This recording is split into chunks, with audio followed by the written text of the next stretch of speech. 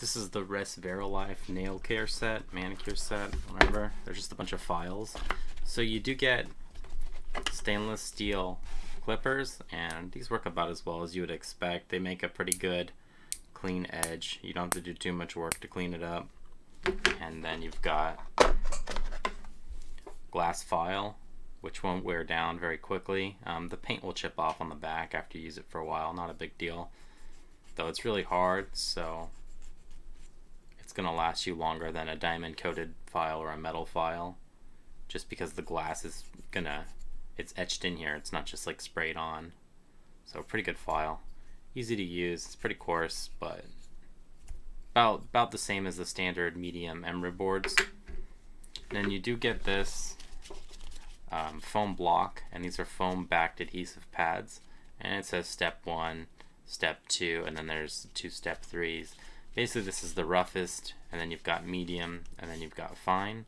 Now the fine one is almost it's almost just bare foam but um, this is pretty easy to use. You can just take off some of the striations there on the nails just and if you like me and you scratch up your nails a lot you know digging at stuff or whatever you just gotta file the, the top really quick takes not a lot of work you can just use this um, step one and it'll just give you like a matte finish and it'll take the striations down.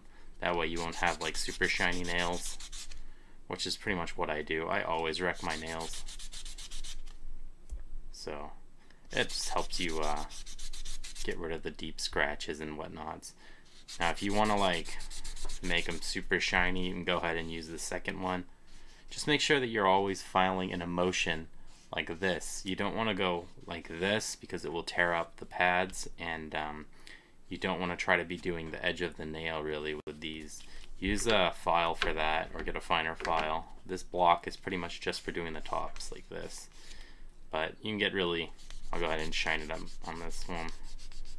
So that's step two. And then step three is like the, uh, the mirror finish and you just get a more reflective but I like to keep them matte so I just go with the, the step one. And I've done this maybe a dozen times now with this one foam block. You do get plenty of replacements with this kit. So I think there's two stage one replacements three stage two and three stage three. So these last a long time and when you use this long enough it basically turns into this. I mean the grit wears down and then it's smoother and then this turns into this so I mean that's just how sandpaper and grits and such work.